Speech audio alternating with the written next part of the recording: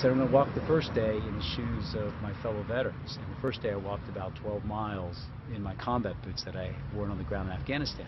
After that, I, it was snowing, so I put these snow boots on, and they were so comfortable that uh, I continued, you know, except for some sneakers I tried, and these were regressed.